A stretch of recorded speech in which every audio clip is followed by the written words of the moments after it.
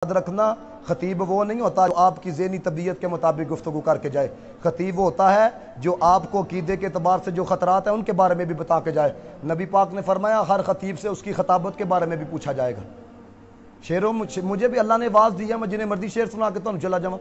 मुझे क्या, देखो ना होता है, लेकिन क्या है हज़रत, अगर अल्लाह ताला ने ये ओहदा अता किया है तो फिर हक है कि जो हक हो वो आप तक पहुँचाया जाए। मुझे अपने ईमान से बताइएगा ये मैं छोटी सी एक अर्जी आपके बारगाह में पेश करने लगा हूं आपकी ज़ात मलिक हो बट हो मुगल हो शेख हो जो भी हो एक बंदा किसी दूसरी ज़ात का बंदा हो आपकी ज़ात का नाम इस्तेमाल करना शुरू कर दे तो तुम ਉਹਨੂੰ ਪੈਂਦੇ नहीं है तू कदों का मलक बन गया जी तू कदों का शेख बन गया जी तू कदों का मुगल बन गया तू कदों का चौधरी बन गया लेकिन यकीन करो ऐसा कबाड़ा हो चुका है हमारे माशरे का ਜਿਹੜਾ ਬੰਦਾ 10 15 ਦਿਨ ਲਾ ਕੇ ਆਂਦਾ ਸੀ ਨੂੰ ਸ਼ਾਹ ਜੀ ਕਹਿਣਾ ਸ਼ੁਰੂ ਕਰ ਦੇਨੇ ਹੋਤਾ ਕਦੀ ऐसा मुझे अपने मान से बताना यार एडा सौखा हो गया ਤੁਹਾਡੀ ਜ਼ਾਤ ਦਾ ਕੋਈ ਨਾਮ इस्तेमाल करे ਤੁਹਾਡੀ गैरत जाती है एक बंदा गैर सैयद होके अपने आप को सैयद कहे आपके अंदर गैरत क्यों नहीं आती ये फरमान सुन लो फाजर बरेलवी ने यह फतवा दिया और नबी पाक के फरमान को मद्देनजर रखते हुए फतवा दिया अल्लाह हजरत फाजर बरेलवी ने कहा अगर कोई बंदा गैर सैयद हो, अपने आप को सैयद कहे, अल्लाह ताला ना उसके फर्जों को कबूल करता है, ना नफलों को कबूल करता है। ये पैगाम है जो मैं आपको बता रहा हूँ। ऐवी ना सैयद कहना शुरू कर दिया करो हर एक बंदे ਨੂੰ भी पता है असल सैयद कौन है। थानू भी पता है असल शाह कौन है। और मैं तो ये कहता हूँ, सैयद अपने किरदार से पहचाना जाता है। सैयद अपने अमाल से पहचाना जाता है। सैयद अपने असकार से पहचाना जाता है।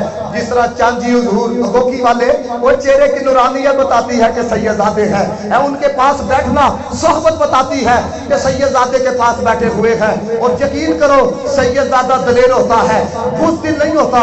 मैंने यहाँ तक पढ़ा, हज़रत इमाम हसन अस्करी, जो इमामों में से है आपके दौर के अंदर ना, एक बंदे ने सैयद होने का दावा कर दिया।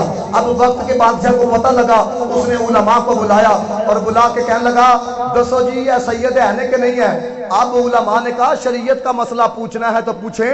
वो बताने के लिए हम तैयार हैं, लेकिन आपने नसब का मामला पूछना है तो ये हज़रत इमाम हसन अस्करी, वो हयात है, उन्हें बुला के पूछे, ये बंदा सैयद है कि नहीं? अब जब हज़रत इमाम हसन असरी को बुलाया गया, आपको कहा गया, दसो जी ए बंदा सैयद है कि नहीं? सुनो, इमाम ने क्या कहा?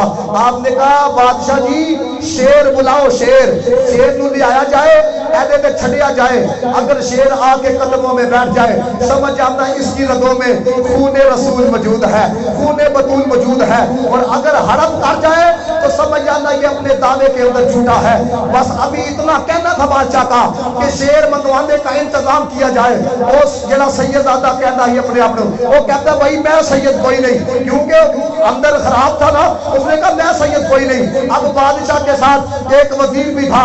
कह लगा जिन्होंने चेक करने बुलाया ਐ ਵੀ ਤੇ ਆਪਣੇ ਆਪ ਨੂੰ ਸੈਦ ਕਹਿੰਦੇ ਨੇ ਨਾ ਤੇ ਸ਼ੇਰ ਨੂੰ ਬੁਲਾਇਆ ਜਾਏ ਇਹਨਾਂ ਤੇ ਛੱਡ ਕੇ ਵੇਖਿਆ ਜਾਏ ਸੁਨੋ ਸੈਯਦਾਦੇ ਨੇ ਕੀ ਕਹਾ आपने कहा, एक शेर नहीं, सौ शेर ले आओ, अली का लाल खलोता ही नज़र आएगा। सैयद अपने किरदार से पहचाना जाता है। सैयद के अंदर साहबा का बुग्ज नहीं होता। यह मेरी एक बात याद रखना।